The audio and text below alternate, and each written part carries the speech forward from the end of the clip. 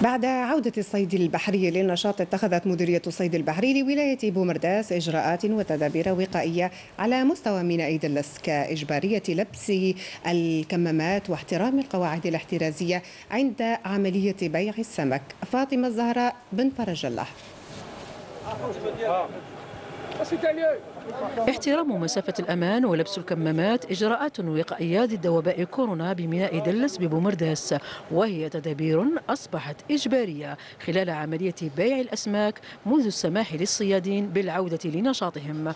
الحمد لله راهي راهي هايلة. الحمد لله رانا متباعدين رانا نسوموا هكذا من البعيد والحمد لله. كنا نصدموا في بعضنا بزاف بصح دوك لا لا. دوك راه نظام كبير راهي هايلة. مو هكذا خير. هكذا اللي تسمى يسوموا من البعد وكذا من هنايا je préfère. ما من السومة يعرفوا كاع الناس السومة تاع الحوت. ما كاش اللي زعما par exemple يزيد ولا يدخل لنا حاجة هكذا ماشي مليحه في الوسط ولا. راهي normalement راهي حاجة مليحة. لما فتح الميناء وبداو الصيادين يخرجوا بالمراكب تاعهم كان لازم نساهموا في عملية التوعية والتحسيس بمخاطر هذا الوباء. تعقيم المركبات وإجبارية مرور الأشخاص عبر هذا النفق. كلها إجراءات احترازية تعود عليها الجميع هنا.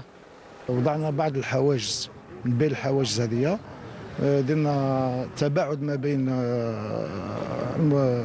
التباعد بين الصيادين عند عملية البيع. يعني خدينا يعني كل الاحتياطات اللي لازمنا ناخذها الكل يعني حاليا يحترم هذه الإجراءات وكل يعني استبشر خيرا بهذا الالتزام. ونحن ماذا بنا يعني ولانا شيء عادي نتعامل مع هذا هذا الوباء. وسط احترام لتدابير الوقائية ضد كوفيد 19 يستعيد ميناء تلس نشاطه الحيوي كما كان في السابق.